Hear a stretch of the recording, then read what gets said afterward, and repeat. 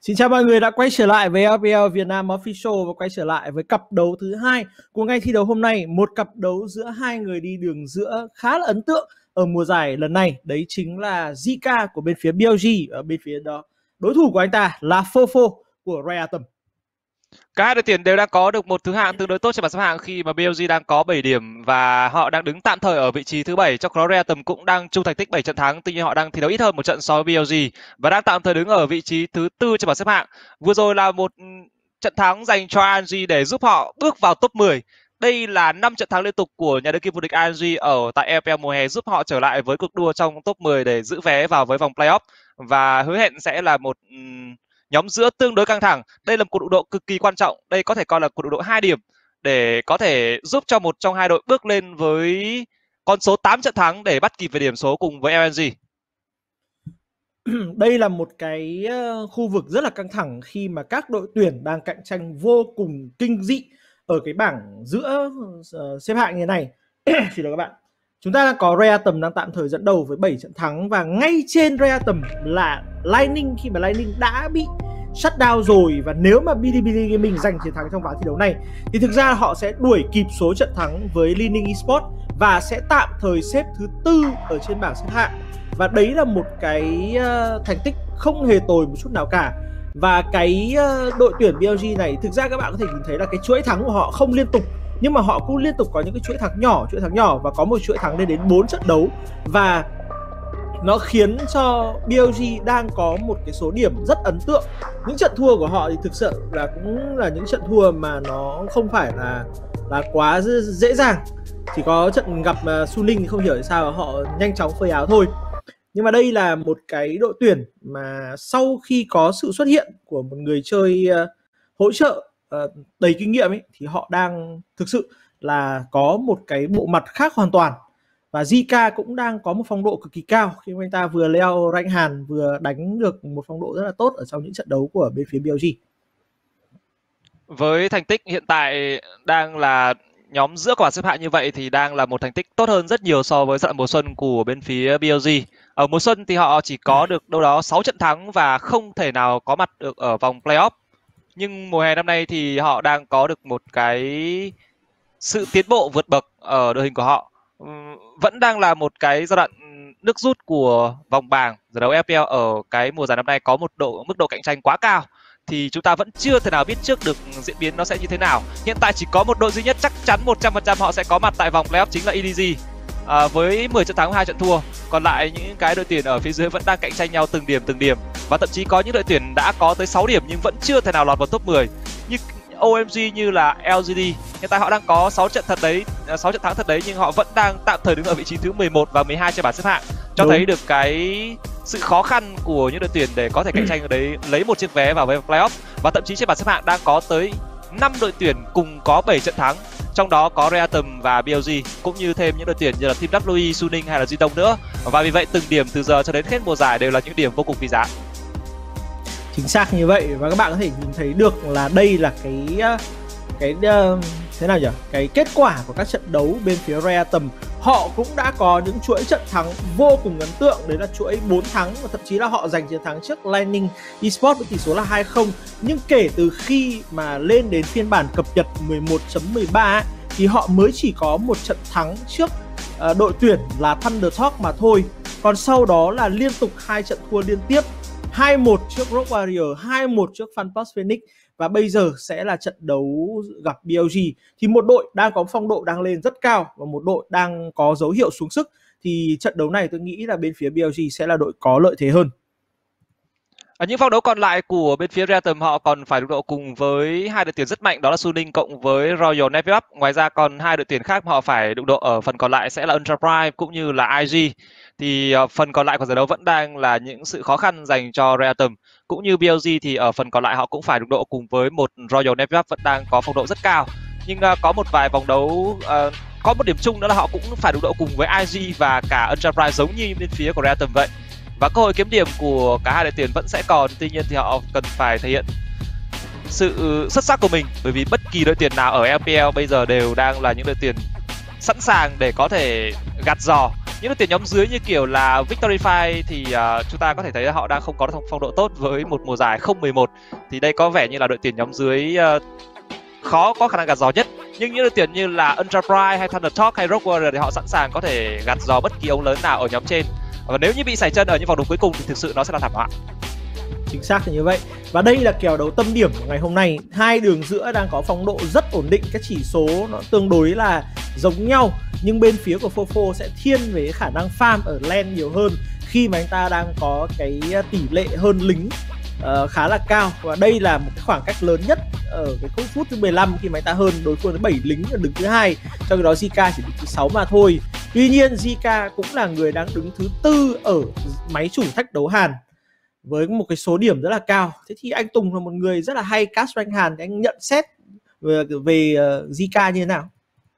Đây là một người chơi đứng giữa có thực ra có kỹ năng cá nhân rất cao từ nhiều mùa trước rồi nhưng mà cái sự ổn định của anh ta tại khu đứng giữa nó không được quá cao.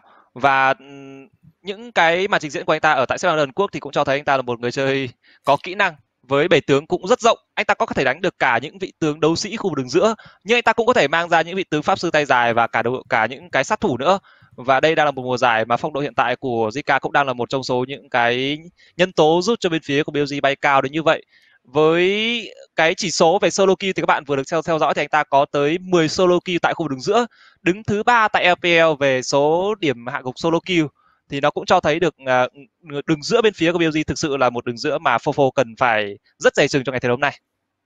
Chính xác như vậy và trong trận đấu trước đấy thì khi mà BLG giành chiến thắng 2-0 trước uh, một đội tuyển mạnh là Jindong Gaming thì Zika cũng đã có một màn thể hiện vượt trội hơn Yagao rất là nhiều. Yagao từ trước đây vẫn luôn luôn được đánh giá là một đường giữa có Ờ, cái độ khó chịu nhất định ở khu vực LPL nhưng mà trong ngày thi đấu đấy thì Zika đã có một ngày thi đấu thăng hoa. Vậy thì không biết là ngày hôm nay thì anh ta sẽ thăng hoa tiếp hay sẽ đã bắt đầu có một sự xuống xuống sức đây. Chúng ta sẽ cùng chờ đợi cho cái giai đoạn cấm chọn ở cái ờ, cặp đấu BO3 này. Tuy nhiên thì ở trong uh, cái uh, tình hình hiện tại thì những cặp đấu lúc uh, 16 18 giờ nghĩa là 6 giờ chiều thì từ thứ Uầy, từ thứ tư tuần trước cho đến bây giờ là các trận đấu cuối cùng trong ngày bao giờ cũng kết thúc với tỷ số là 2-0. 2-0. Nhưng mà hôm nay thì uh, tôi cũng không chắc lắm về cái tỷ số này nó có tiếp tục được uh, duy trì hay không khi mà cả hai đội tuyển đều đang có được một cái dàn line-up mà tôi nghĩ rằng uh, khá là chất lượng và tôi nghĩ rằng đây là cuộc đụng độ giữa hai đội tuyển đang đứng gọi là cũng sát nhau trên bảng xếp hạng nữa với chênh lệch chỉ là một điểm thì uh, cơ hội sẽ là chia đều cho cả hai và với những cặp trận mang tính chất gọi là cạnh tranh điểm trực tiếp như thế này thì à, nó thường diễn ra theo một chiều hướng rất căng thẳng và cũng không biết là ý đồ ngày hôm nay thì bên phía Everton họ sẽ quyết định đánh lên cánh trên hay họ sẽ hướng xuống cánh dưới giống như những gì họ đã làm nữa. iBoy cộng với hai cũng đang là bộ đôi đường dưới rất đáng chú ý ở tại LPL nhưng với meta hiện tại thì tôi đã cảm giác như uh, cái hướng đánh của LPL đang có phần hướng lên cánh trên nhiều hơn và qua đó thì các xạ thủ có được cái đóng góp trong một ván đấu nó không còn được nhiều như những phiên bản trước đó, vẫn còn nhưng nó không được còn được nhiều như những phiên bản trước đó nữa. Đặc biệt là con bài Zik đang là một trong số lựa chọn mà các bạn có thể thấy độ hiệu quả của nó ở những vòng đấu vừa qua đang cao đến như thế nào. Và nó trực tiếp khiến cho các xạ thủ thuần khu đường dưới gặp rất nhiều khó khăn ở khâu đi đường cũng như giao tranh tổng. Chính xác như vậy. Và Su Ninh là một đội đã thể hiện rất là rõ cái ờ, bài dích đấy trong những ờ, ngày thi đấu vừa qua, đặc biệt là trận đấu rằng co cực kỳ với Lindy Esports vào hôm qua khi mà một con dích của Hoan Phong đã đem lại một lượng sát thương cấu rỉa vô cùng khủng khiếp. Và càng về cuối trận thì nó càng trở nên khó chịu hơn với sự giúp đỡ của linh hồn rồng lửa. Và thậm chí là trong trận đấu đấy các bạn có thể nhìn thấy là đội hình của bên phía Leaning Esports còn có hai vị tướng có thể đột kích ra hàng sau, đấy là Akali cộng cả Lucian để có thể bắt dích. Nhưng mà cuối cùng là nó vẫn không thể nào bắt được. Do cái tốc độ đẩy của dích và cái tầm hoạt động của con bài đấy nó là quá xa, khiến các vị tướng đấy cũng không thể nào tiếp cận được và đây sẽ là đội hình của BLG ra sân khấu để chào. Đường giữa vẫn là Zika xã thủ vẫn là Em Minh và PP God bộ đôi Weiwei và Biu Biu cũng vẫn là bộ đôi à, thường thấy thôi. Và bên à, cạnh đó, đấy chính là huấn luyện viên Kim, một huấn luyện viên cũng có thực tài và cũng đã từng có những thành công nhất định. Và giờ thì đang dẫn dắt một BLG với một bộ mặt ở mùa hè này là hoàn toàn khác so với mùa xuân một đội hình rất hứa hẹn với phong độ đang là cực kỳ cao của BLG ở những vòng đấu gần đây và họ cũng đã có được những sự chuẩn bị rất tốt ở tại cặp trận trước gặp Zero Gaming. Tôi thấy rằng BBU thậm chí cái bể tướng của anh ta đang dần được mở rộng ra khu đường trên với một lựa chọn mà anh ta đang mang lại LPL mà tôi nghĩ rằng nó có thể sẽ xuất hiện ở những vòng đấu sau đó chính là con bài Kennen khu đường trên. À, nó là một trong số những vị tướng có khả năng đi đường rất tốt với các đấu sĩ khu vực cánh trên đặc biệt là có thể đi đường trên cơ hơn so với Gwen à, ở khoảng thời gian ban đầu và là một trong số những cái con bài mang thiên hướng giao tranh tổng rất mạnh về late game với khả năng giao tranh tổng của Kennen thì rất nhiều những đội tuyển FPL có thể sẽ nghiên cứu cái con bài này và mang trở lại nó ở những vòng đấu tiếp theo. Còn đối với bên phía của Reatom ngày thi đấu hôm nay, đội hình của họ cũng sẽ không có gì bất ngờ cả Crypt, Leyan, ờ, Fofo cộng với bộ đội đường dưới sẽ là iBoy và Hàng. Đây cũng là một trận đấu mà nếu mà đầu mùa giải chúng ta so sánh thì hai đội hình thực sự là rất cân kèo ở tất cả các vị trí đều có những cái sự cân bằng nhất định. Ví dụ như là đường giữa Fofo với cả Zika đều là những người chơi có kỹ năng rất là cao. Nhưng mà cái độ ổn định của họ không phải là ở đỉnh cao nhất. Bộ đôi đường dưới cũng là một bộ đôi được đánh giá rất là mạnh. Khi mà iBoy kết hợp với hàng là một bộ đôi đã thể hiện được giai đoạn mùa xuân với khả năng kết hợp của họ là tốt đến mức độ như thế nào. Trong khi đó, bộ đôi ở mùa hè này mặc dù mới kết hợp với nhau, nhưng mà PV God và cả mình cũng đang thể hiện được cái phong cách của mình và đó cũng chính là một cái vũ khí dành cho bên phía BLG đội hình của BLG là một đội hình mà thực sự họ có thể cho tất cả các đường đánh tướng carry được do họ đang có một phong độ cực kỳ cao ở tất cả các vị trí. Và để xem ngày thi đấu hôm nay thì họ sẽ hướng đến với khâu cấm và chọn như thế nào. Tôi đang thực sự thắc mắc về cấm và chọn thì để xem quyết định đánh uh, ở cánh trên hay cánh dưới đến từ cả hai đội tuyển. Cũng như là phiên bản hiện tại đang thi đấu nó chưa có gì thay đổi cả vẫn là phiên bản 11.13 thì uh, tuần sau thì chúng ta có lẽ sẽ chuyển sang phiên bản 11.14 lúc đấy thì mới có những sự thay đổi. Còn 11.13 thì chúng ta vẫn sẽ à, gặp những con bài rất là quen thuộc ở các khu vực đường cũng như không trong khu vực rừng. Thì hai con bài hot nhất trong khu vực rừng lúc này vẫn sẽ là xin giao cộng với Dyna rồi chúng ta sẽ đến với cấm và chọn để xem xem có bên nào quyết định uh, cấm rừng sớm hay không. Và tôi đang chỉ thấy những vị tướng cấm nhắm vào các khu vực đường. Như BLG họ đang cấm quen cộng với Kalista trong đó Reatom họ quyết định cấm đi Akali và xin giao nữa, đó là một vị tướng đi rừng được đánh giá rất cao thời điểm hiện tại. Nocturne còn, Viego còn Zik còn. Và có vẻ những cái việc mà BLG cấm đi Aphelios với cả Kalista hình như họ định first pick cho mình con Zik ở khu vực rừng dưới thì phải. Khi mà Zik cũng sẽ gặp khó khăn khá là nhiều với những vị tướng tay dài có khả năng đè đường mạnh như là Aphelios cộng với cả Kalista như thế này. Lượt cấm cuối cùng của Random thì để xem họ sẽ cấm cả bài nào hay họ sẽ ngại con Zik của đối phương. Họ cấm đi Viego và như vậy Zik đang được hở ra, nhưng ờ, quyết định đưa ra đến từ bên phía của BLG không phải là Zik mà thay vào đó họ lựa chọn Lee Sin. Một trong số những lựa chọn mở mà cả ba khu đường bên phía của BLG tại cánh trên đều có khả năng sử dụng được cả. Giai đoạn gần đây thì đang đánh dấu sự trở lại của Lee Sin trong khu vực rừng và nó cũng có thể là con bài mà bên phía của BLG sẽ hoán đổi vào khu vực rừng nếu như có những kèo đấu ở khu đường đơn thuận lợi chúng ta đang nhìn thấy một sự nhá hàng tương đối là lạ mắt đến bên phía của Raya Tầm khi mà Singlet đã xuất hiện. Nếu mà Singlet đi với Lee Sin thì tôi nghĩ là nó cũng sẽ không có tác dụng gì. Nhưng mà cá sấu sẽ là một lựa chọn hợp lý hơn. Cá sấu, thực ra cái lượt pick Renaton ở thời điểm hiện tại nó không phải là một lượt power pick ở khu vực LPL nữa rồi nhưng mà vị tướng này rất thường xuyên bị khắc chế bởi một lựa chọn dây ở khu vực đường trên mà Bill Bill cũng là một người sử dụng dây cực kỳ tốt Wei Wei hoàn toàn có thể đẩy con Lee Sin này vào rừng và sẽ có một con dây ở khu vực đường trên và nó sẽ giống những trận đấu vừa rồi khi mà Anji Xiaohu đè bẹp hoàn toàn CS ở khu vực đứng trên với quân bài Renaton Lựa chọn lập lăng tương đối tự tin đến từ bên phía của Reatom dành cho anh chàng Fofo. Đây cũng là một công đối chuyện. Tôi nghĩ rằng lựa chọn này đa phần để lấy đi con bài đứng giữa của anh chàng Zika.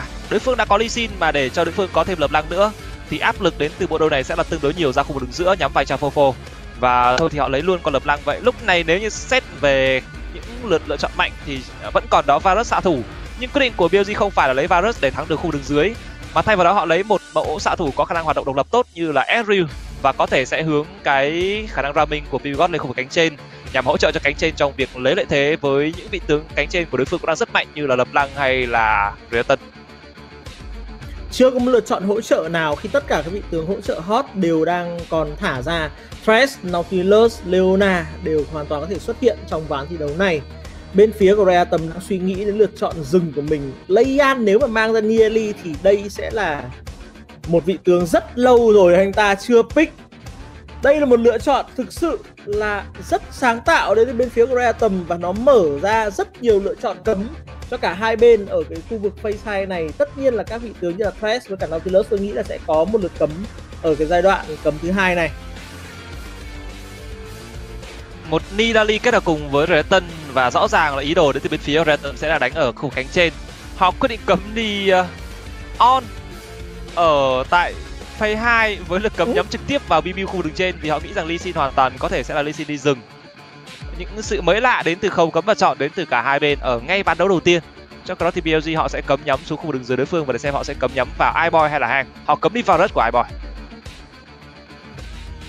Uhm, như vậy là iBoy vẫn còn có thể sử dụng Zik nhưng mà đội hình này thì nó không hợp với Zik cho lắm do khả năng cấu rỉa từ xa của bên phía Reatom phụ thuộc khá nhiều vào con Nearly với cả khả năng bay vào đến từ LeBlanc Reatom thì muốn có cho mình một cái thế trận combat mạnh, vì vậy họ cấm đi hai vị tướng, khả năng combat cực kỳ tốt là On với cả Volibear. Tiếp tục là BLG liệu sẽ cấm vào hỗ trợ hay sẽ là cấm vào xạ thủ đây? Chúng ta vẫn còn đó con Thresh ở khu vực đường dưới và Hang cũng là một người đánh Alista tương đối tốt. Một trong hai quân bài này hoàn toàn có thể xuất hiện trong đội hình bên phía Reatom và để lại lượt pick cuối cùng dành cho iBoy, như vậy là BLG quyết định cấm đi Nautilus họ cấm một nhắm vào iBoy vào hỗ trợ của Realm là anh chàng hang và để xem lựa chọn đầu tiên đến từ Realm. Họ có muốn lấy một hỗ trợ nào đó cần phải tranh chấp với bên phía của BLG hay không? À, hay họ có muốn mang ra một bộ đường dưới nào đó với khả năng đánh thủ hòa của iBoy và hướng Leona của hang trong việc di chuyển lên cánh trên và hỗ trợ cho bộ đôi Cube Leon cũng như Fofo hay không? Bộ ba thì đúng hơn. Như vậy là họ quyết định khóa vào Leona và vẫn đang giấu bài cho anh chàng iBoy.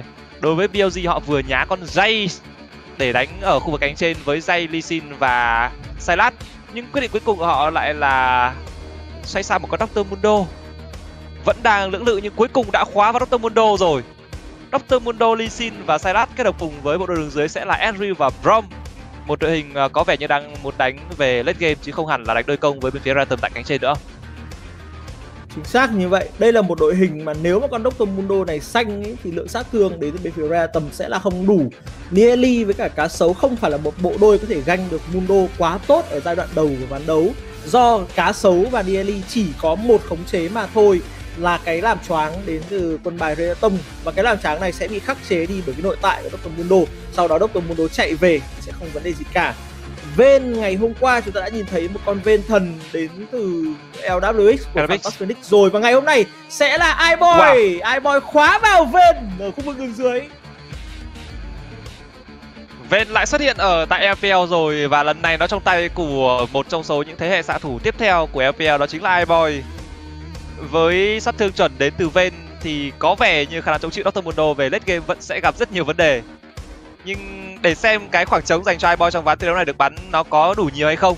Khi mà hỗ trợ của anh ta đang sở hữu là một hỗ trợ ờ, mang thi hướng mở giao tranh nhiều hơn là khả năng cover. Những áp lực dành cho ven của iBoy trong tình huống giao tranh tổng có lẽ sẽ đến từ Lee Sin và Sadat mà thôi. Dr. Mundo thì không khác nào một vị thịt cả.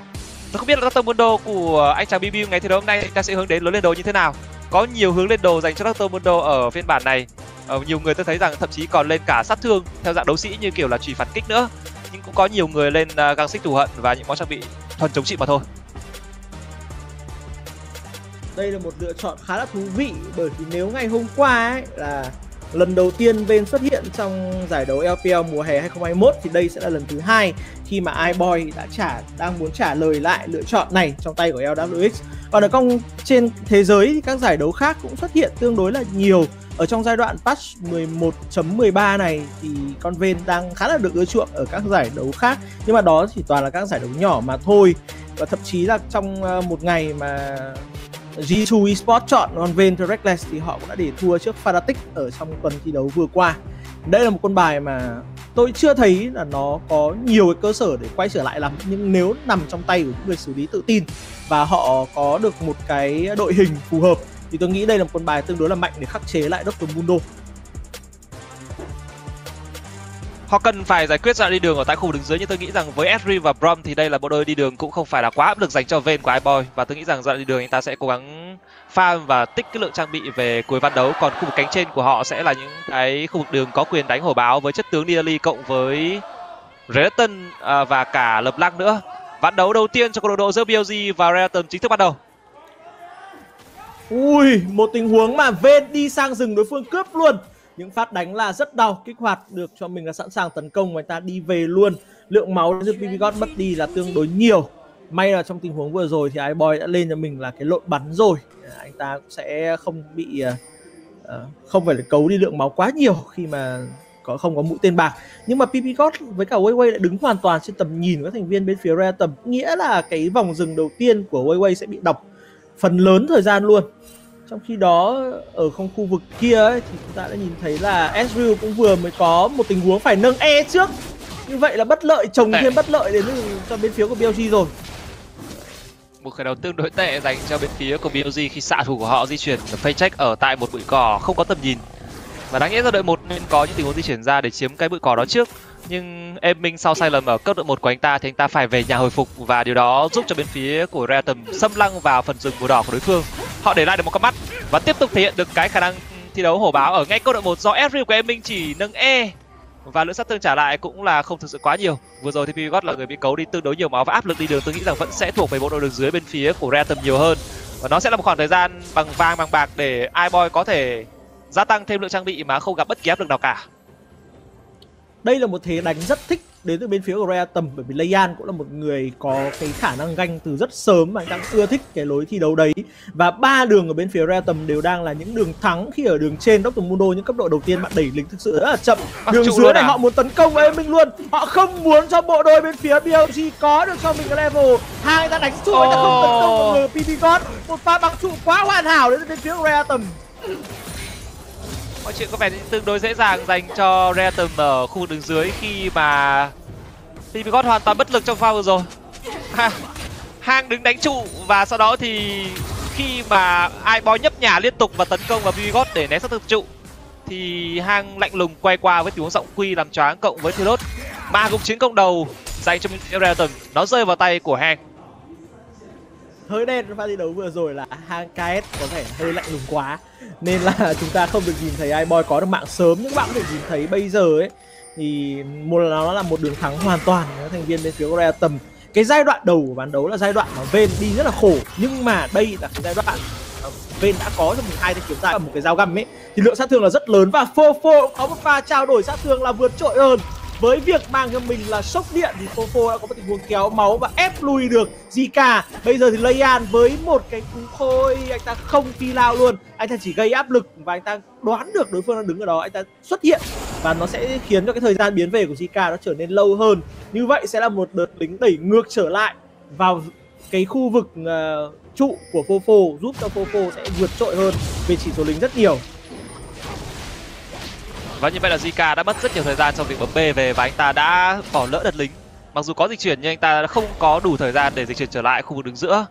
Nó sẽ là lượng kinh nghiệm bị chênh lệch đến từ cả hai người chơi đứng giữa trong khoảng thời gian sắp tới. Còn khu vực đứng trên là kèo đấu mà mặc dù chất tướng Dortmundo farm hòa thì tốt nhưng uh, vẫn sẽ là một cái áp lực nhiều hơn đến từ Reton ở khoảng thời gian ban đầu. Không có nhiều cơ sở để Dortmundo có thể tay ngang cùng với một con Reton. Có thể coi đây là một game đấu mà thắng cả ba đường đến từ bên phía của Reton ở những phút thi đấu vừa qua. Chính xác như vậy những cấp độ đầu tiên ấy thì Mundo đẩy đường thực sự là rất là khổ. Anh ta phải sử dụng thêm cho mình một cái máy dọn lính nữa để tăng tốc độ đẩy đường. Trước khi mà có cái món trang bị tàn tích của Bami ấy thì tốc độ đẩy của Mundo và tốc độ farm của vị tướng này thực sự là quá kém. Trong khi đó thì Reaton có dư thời gian để vào. Anh ta phá hạt soi sáng, cắm một con mắt vào khu vực bùa xanh của bên phía BLG như vậy bây giờ Wei Wei không xuất hiện ở nửa trên bản đồ là đường dưới. Của Rea tầm chắc chắn là sẽ thi đấu lùi lại.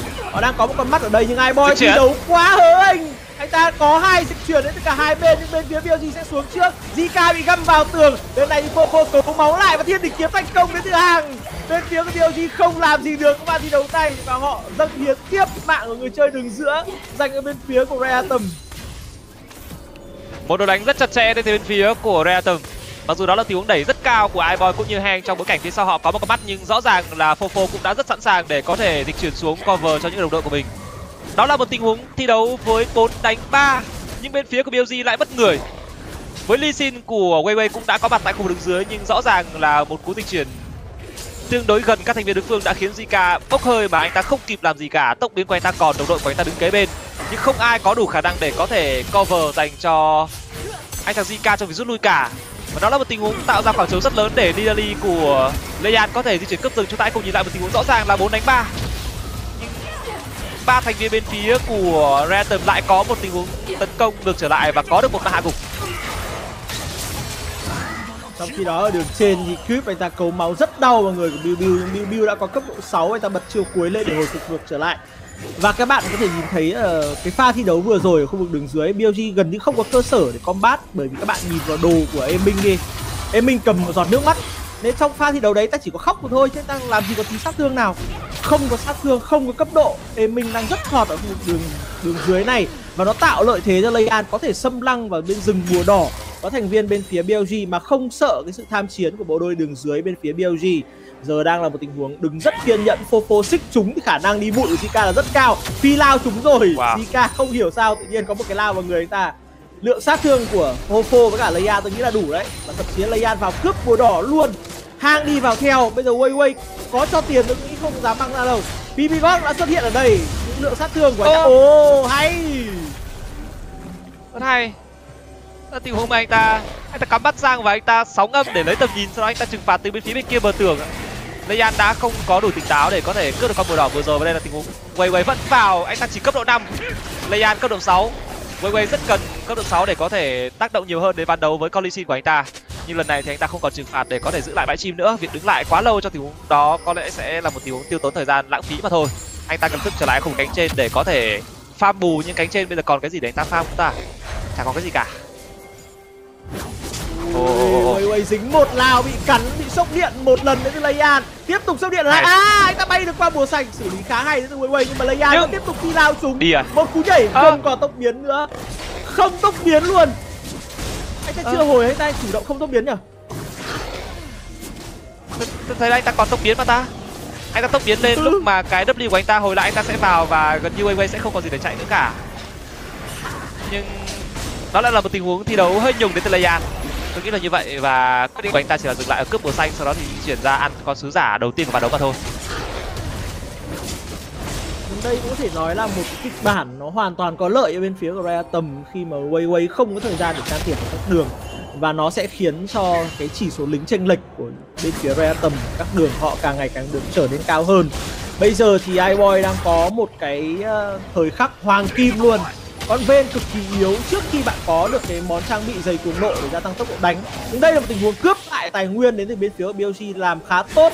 Đây bùa xanh những ai ăn bùa xanh Wei là người ăn bùa xanh pha thi đấu này. Em Minh thì cả đã có cho mình thủy kiếm rồi. Lượng sát thương của Em Minh ở thời điểm hiện tại cũng sẽ là tương đối nếu mà bắt buộc phải giao tranh. Ngai Boy có lẽ sẽ ờ, phải chi đấu nhùn xuống một chút. Khi anh ta chưa có được món trang bị thần thoại đầu tiên, đây là đoạn hơi yếu của bên đường trên thắng đường giữa thắng đường dưới cũng có một chỉ số lính chênh lệch dành cho iBoy, cộng với hai màn gục sớm dành cho imperial. Tầm họ đang hơn đối phương tương đối nhiều tiền. Tôi đánh giá tầm 9 phút đi đường mà họ hơn tới hơn 2.000 tiền là một cách biệt khủng khiếp dành cho bên phía Realtom ở khoảng thời gian ban đầu. Và Leyan với sự vượt trội đến từ Nearly thì anh ta bắt đầu di chuyển cực nhiều hơn. Wayway vừa rồi anh ta được nhiều combo xanh tại phần dưới đối phương nhưng thực ra họ cũng không dám đứng lại khu vực đó quá lâu.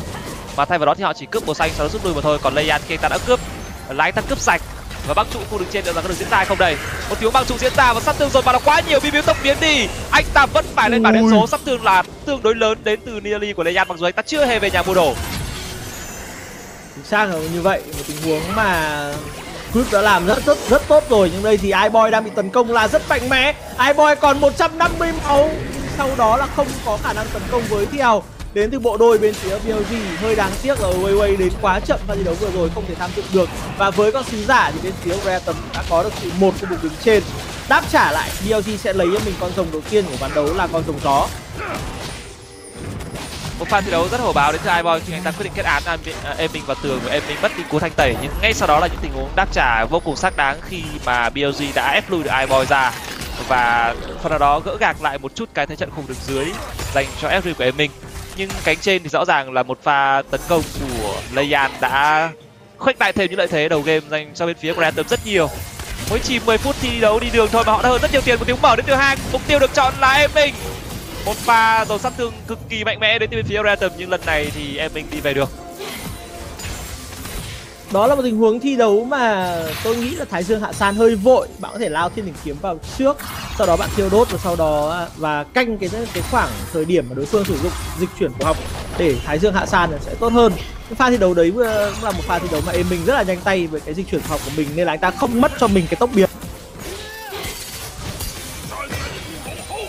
một tình huống tích chuyển học lên đến cho em mình để dồn sát thương nhưng uh, rõ ràng là anh ta nên cân nhắc về rút lui thế hay hơn. Solo dừng không cần sức không cần một tí nào một bên thì đã có lưỡi hai bóng đêm. Một bên thì chỉ có dây thép gai vùng thanh trường kiếm mà thôi. Rõ ràng là khả năng solo tay đôi đến từ Weiwei sẽ là không đủ để anh ta có thể tiếp tục đứng lại ở khu vực rừng màu đỏ của mình.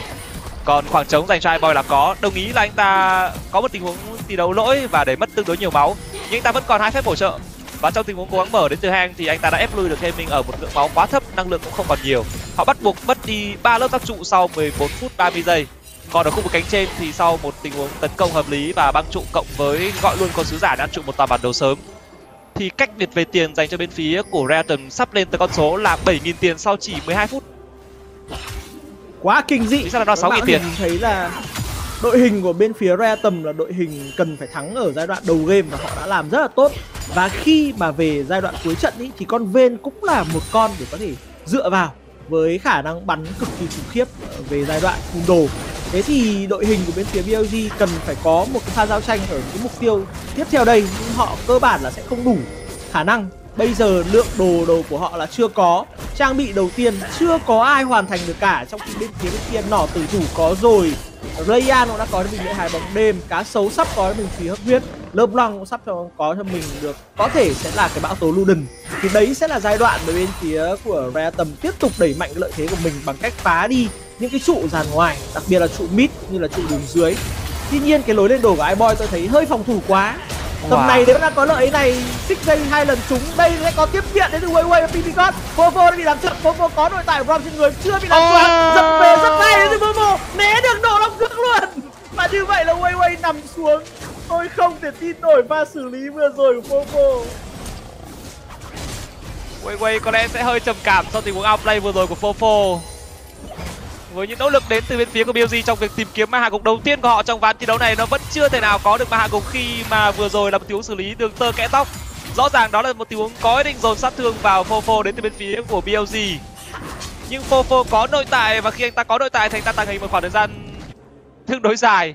Lượng sát thương của BLG là không đủ trong pha vừa rồi và thậm chí họ còn phải mất thêm một ma hạ gục nữa, rơi vào tay bên phía của Readam một Readam đang cực kỳ mạnh mẽ ở ván thi đấu đầu tiên này với cách biệt khủng khiếp ở giai đoạn đi đường và Ibon làm cái gì đây? Anh ta băng trụ trao đổi máu với em minh nhưng có vẻ như anh ta hơi lỗ. Mất luôn cái nào từ thủ rồi. Thậm chí là mất nỏ từ thủ ta còn nháy tín hiệu luôn. Và đây chúng ta cùng xem lại pha thi đấu này.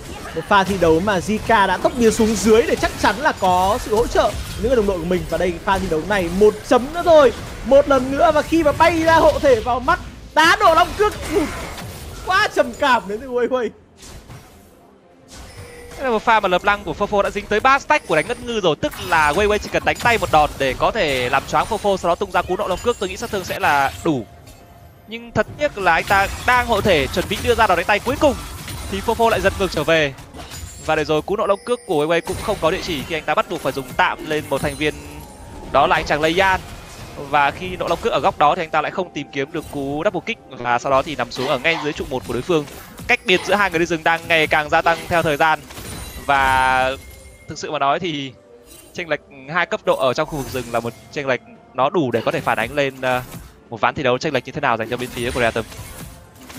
Chính xác như vậy. Và có một thêm thông tin bên lề đấy là Leian đang có tỷ lệ thắng 100% với quân bài Niali này ở ba trận đấu trước đây, ở APL mùa hè 2021 này. Nhưng mà trận đấu ờ, gần đây nhất cũng đã cách đây một tháng rồi, vào ngày 19 tháng 6 khi mà anh ta có một trận đấu hình như là gặp ờ, uh, OMG hay là một đội tuyển nào đấy thì cũng, cũng là một con Nearly không chết mạng nào. Có một lượng sát thương cực kỳ khủng khiếp. Thì đây có thể coi là một màn trào sân ngược trở lại đến với Leyan với con bài Nearly. Khi mà anh ta sẽ tiếp tục có thể tôi nghĩ là rất là có thể sẽ tiếp tục duy trì được cái ờ, tỷ lệ thắng 100% với con Nearly này sau ván đấu này. Một ván thi đấu mà tôi nghĩ đúng là với tranh lệch hiện tại thì Reatom đang có được cái tỷ lệ thắng rất cao trong một ván đấu mà gần như áp đảo ở mọi khu vực đường khác nhau. Cái đấu khu đường trên chúng ta không thể nào trách BB được với một chất tướng không cho phép anh ta làm được gì quá nhiều cả. Nhưng ở phần còn lại của BLG thì lại là một màn áp đảo. Từ ngay cấp độ 1 chúng ta đã thấy có những sai lầm đến từ bên phía BLG trong việc di chuyển. Và để rồi khi em minh cộng với BB God bị thua đường quá nặng thì họ bị băng trụ nằm xuống ở ngay cấp độ 2, cấp độ 1 rồi khi mà người đi dừng bên phía của Raton thể hiện được cái khả năng thi đấu xuất sắc của mình cộng với khả năng thi đấu đường giữa với kèo đấu lập lăng và sai của anh chàng Fofo nữa thì mọi thứ nó được ừ, kết hợp lẫn nhau và tạo nên một tranh lệch lên tới con số 7.000 tiền sau 16 phút thi đấu vừa qua. Thực ra tôi đang hơi thắc mắc ở trong ván thi đấu này tại sao BLG họ lại không thi đấu theo cái cách mà họ vẫn hay thường làm đấy là Bill Bill với Weiwei sẽ thi đấu cùng với nhau. Mà trong ván thi đấu này Weiwei gần như là không ghé lên được trên được một phát nào do cái ờ, ban pick này thì không khiến, không giúp cho mà có thể đi với người bạn của mình được. Trong khi đó thì cả cái mùa giải này trong các trận đấu của BLG ấy, tôi cảm giác là Wei với cả Zika không hợp nhau lắm đâu. Nghĩa là họ đánh thì vẫn chấp nhận được nhưng mà nó không có một cái sự hiểu ý do là làm đồng đội lâu Wei với cả Biu Biu thì gắn bó với nhau rất là lâu rồi nên họ có một cái khả năng phối hợp rất là tốt nhưng Zika thì ngược lại khả năng phối hợp của Wei với cả Zika không thực sự tốt lắm nên nó dẫn đến những pha tấn công ở đường giữa vừa rồi ấy. nếu mà Zika anh ta đứng chờ ở cái dấu ấn của cô đã đưa ra đòn tấn công cuối cùng. Nếu mà đối phương giật lại thì có thể sẽ là một tình huống mà way way anh ta có thể thoát về được. Nhưng mà pha thi đấu đấy thì thấy rõ là Zika với cả Wei Wei thậm chí là PVGOT phối hợp với nhau không tốt lắm. Và cho đến thời điểm hiện tại thì họ vẫn chưa tìm được một cái tín hiệu nào vui vẻ cả. Khi mà em mình cũng không thể nào farm được hơn so với iBoy. Mundo thì của view Biu bây giờ lên kháng phép hay là lên giáp nó cũng là một vấn đề. Bởi vì lên giáp thì ok iBoy bắn không đau lắm nhưng mà Fofo với cả Leian có quá nhiều sát thương mà lên kháng phép thì bây giờ lượng sát thương đến cá sấu với cả con ven này nó bắn chắc là tè đầu luôn một thế trận rất khó khăn dành cho Bilibili Gaming ở trong ván đấu đầu tiên này tôi cũng nghĩ rằng họ sẽ cố gắng đánh đôi công với đối phương ở tại cánh trên khi mà bên phía Renton đã quyết định khóa Vanilli cộng với Renton à, tôi có thấy họ nhá con dây trước khi họ chuyển sang con Dr. Mundo nhưng quyết định cuối cùng của họ lại làm con Dr. Mundo và ván thi đấu này tôi nghĩ rằng họ sẽ phải bỏ bao nhiêu con rồng để có thể đổi lấy một khoảng thời gian yên bình với phía của Reatom đây. Bỏ rồng sẽ là điều cần thiết, tôi nghĩ là như vậy. Nếu đánh nhau ở thời điểm này thì nó sẽ là một cuộc đánh nhau mà được ăn cả ngã thì chắc là đi luôn. Nhưng mà tôi nghĩ là cơ sở để có thể thắng trong những tình huống đánh nhau như vậy nó cũng không phải là quá nhiều nữa chính xác như vậy. Và bây giờ khi mà LeBlanc xanh anh ta đẩy lẻ là vô cùng khó chịu. Các thành viên bên phía BLG không có đủ khả năng khống chế để bắt lại LeBlanc pha thi đấu thì chúng ta đã có thể nhìn thấy được rồi. Đây là họ muốn bắt vào người của hang. Nhưng thái dương hạ sàn quá đẹp.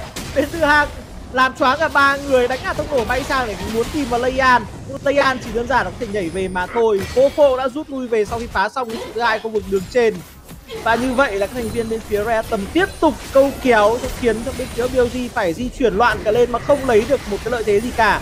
Thả sứ giả sẽ lấy nốt trụ một của bên phía BLG Rất hay. đá ngược về được iBoy nhưng sát thương dồn vào là fail đến từ em mình. Giờ thì hang đang cố gắng cover với đồng đội của mình. Hang có thể sẽ nằm xuống nhưng iBoy bật chiều cuối quay ngược trở lại trả rất điểm được một người bên này thì kịp bắt gà ra khơi tắt chối nhưng sát thương đến thời gian vẫn là còn và đó là hai điểm hàng ngục tràn ngược lại và Fofo đang đến để có thể gây thêm sát thương. Nhưng pha thi đấu vừa rồi BLG chỉ có được một mạng mà thôi, còn Rea tầm có được đến hai người. Thực sự đó đó là tình huống xử lý rất nỗ lực đến từ Weiwei với một pha xử lý cực kỳ nhanh tay đá được ai boy về, nhưng rõ ràng là sát thương tiến sau đến từ phía của BLG là quá thiếu hụt. Không có sát thương để có thể dứt điểm được ai boy trong pha vừa rồi đến từ bên phía của Bilibili Gaming cho một cú cố gắng nộ long cước được iBoy về góc rất đẹp rồi. Nhưng Gaming của PPGot lại không hứng nổi. Trong bóng đá thì người ta hay gọi đây là chân gỗ biến bàn thắng thành cơ hội. Đã cùng nhìn lại một pha xử lý rất hay đến từ Wayway với một pha hộ thể nộ long cước tốc biến được iBoy về tầm trụ. nhưng sau đó cú đúp đến từ Gaming lại trúng vào người của Hang sau khi iBoy tốc biến đi và họ chỉ có thể đổi mạng giữa Wayway cũng như là hỗ trợ của Ratom mà thôi. Và để rồi khi bên phía bên này những nỗ lực đến từ Zika trong việc giữ chân cướp và cả người đi dừng Layan lại thì anh ta lại phải bỏ mạng với pha trao đổi chung quy lại vẫn có lời về mạng cho phía của Reatom và sau pha giao tranh vừa rồi thì nhìn lại, đồ của các thành viên bên phía Reatom đã có ba thành viên chủ chốt hai món. Leian có đồng hồ và lưỡi hai bóng đêm. Fofo cũng đã có quỷ thư Morello và iBoy cũng đã có được mình cuồng đao Winsu rồi nghĩa là ở thời điểm hiện tại BLG gần như là không có cửa để giao tranh nữa. Con rồng họ bỏ thẳng hoàn toàn luôn, không hề có một cái nỗ lực để kiểm soát tầm nhìn ở đây. Do cái khoảng rừng này họ không có một chút xíu mắt nào cả. Di chuyển ở đây khả năng bị bắt bởi con LeBlanc là rất cao. Và ai boy thậm chí anh ta đứng rất cao ở khu vực đường giữa luôn. Như kiểu mời gọi, bây giờ Zika ở quay quay lao vào đi. Tôi bây giờ có, không có phép bổ trợ, các anh lao vào thử xem nhưng mà bên anh ta vẫn có cho mình một cái nỏ từ thủ, nên có lẽ là bên phía của BLG không dám lao vào. Món trang bị thứ ba iBoy sẽ hướng đến trong ván thi đấu này sẽ là một cái đao tím. Và cái lượng trang bị hiện tại của anh ta đã cho phép anh ta gây được rất nhiều sát thương rồi. Kể cả đó là Dr. Mundo của BB tôi nghĩ rằng anh ta cũng sẽ chịu không được quá lâu ở trong một tình huống giao tranh tổng diễn ra. Và những tình huống chớp thời cơ đến từ bên phía của BLG là vô cùng chân quý họ có thể chấp được những pha sai lầm đến từ đối phương để có thể khai thác lại những cái lợi thế dành cho bên phía BLG là rất tốt. Còn nếu giao tranh trực diện, lúc này thì nó sẽ tương đối khó. Nhưng những sai lầm của Random không phải lúc nào cũng có và vừa rồi là một pha đứng hớ hênh đến từ iBoy. Nhưng rất tiếc là BLG lại không thể nào có được một tiếng trao đổi có lời trước các thành viên bên phía của Random và đến giờ cách biệt về tiền cứ từ từ tăng theo thời gian. Và bây giờ sau 22 phút thì cách biệt về tiền đã lên tới con số 9.000 tiền đây là chỉ là những cái pha giao tranh nhỏ lẻ những cái pha đi đường thôi nhá. Chưa có một pha giao tranh thực sự là năm người lao vào với nhau một, trong một tình huống nào cả. Một cú phi lao rất tốt sau đó là cú xích đến từ phô phô. Đấu đi ngay cái chiêu một lượng máu cực kỳ lớn của Biu Biu. Thái Dương Hạ San chặn đầu phi lao cũng trúng vào người Biu Biu rồi. Nhưng mà không băng trụ được đến từ các thành viên bên phía Rea tầm và ở khu vực đường dưới iBoy à, đường giữa iBoy biết là không có ai ở đây anh ta rất tự tin ra đứng lên cao, nhưng đã có thần kiếm Muramala của em mình rồi. Đá ngược lại là người của Leyan. Leyan đang bấm đồng hồ, băng địa chấn tốt và khung ánh sáng kết hợp theo, Leyan nằm xuống rồi. Bắt đầu một tình huống hạ gục nữa vào người của hàng Kip đang cố gì ở đây? Nhưng Kip một mình chấp năm có vẻ là hơi quá đà. Kip người ta mất, mình mong có Serac người ta lùi về. Phô Phô không tìm một cách bay vào trong pha thi đấu vừa rồi. Bên của iBoy thì đến quá sâu. Và POG đã tìm được cái khe hở mà Reatom tạo ra đó lại là một tình huống xử lý tốt đến từ người đi rừng Weiwei của Bilibili. Anh ta đã có một tình huống nộ long cước được Leian về và lần này lượng sát thương đến từ tập thể của BLG với 5 thành viên trong pha vừa rồi đã đủ để có thể khai thác mạng cùng. Chúng ta hãy cùng nhìn lại một tình huống truyền banh cực kỳ đẹp. Và sau đó thì họ có mạng của cả Leian lẫn cả hạng nữa. Cú tích truyền xuống của Cube anh ta một vs 5 và điều đó là điều không thể. Có thể anh ta khỏe thật đấy nhưng uh, tình huống mà anh ta không nằm xuống trong pha vừa rồi đã là một may mắn dành cho bên phía của Reatom những lợi thế đã được bên, bên phía của BLG khai thác được sau những tình huống vừa rồi. Nhưng uh, vẫn đang là một chênh lệch rất lớn. Một vài những sai lầm của bên phía Reatom chưa thể nào quăng đi hết những lợi thế vốn có của họ ở khoảng thời gian ban đầu. Và vẫn đang đâu đó khoảng chừng cách biệt 8.000 tiền giữa hai đội tuyển. Bây giờ thì trận đấu này nó vẫn đang khó khăn ở bên phía BLG nhưng nếu mà Reatom cứ tiếp tục thi đấu với những cái pha quá tự tin như vậy thì khả năng họ phải trả giá là rất cao. Bởi vì Nearly với cả con bài lớp long ấy là những cái vị tướng không phải tướng uh, chống chịu ừ, máu to gì cả. Mà trong những tình huống bị bắt lại thì khả năng chống chịu hai vị tướng này rất là thấp khả năng bị hạ gục vẫn rất là cao. Nhưng lúc này thì Rare tầm không muốn chơi theo kiểu là mèo vườn chuột nữa. Họ lao thẳng vào hàng Baron với lượng sát thương đến từ Ven thì họ ăn cái Baron này là quá nhanh Pivot chưa kịp biết gì cả anh ta bị giữ lại ở đây ta sẽ bị tấn công tiếp Pivot dựng cho mình tối kiên cường nhưng cũng đã mình giờ phải dịch chuyển cổ học để đi về mình có năng không là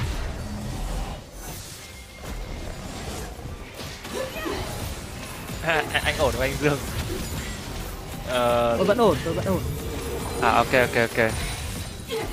Quay trở lại với ván đấu sau một tình huống khai thác thành công con Baron thì bên phía của Ratum đã có thêm cả một mạng hạ gục để nâng cách biệt về tiền lên tới con số là gần 10.000 tiền.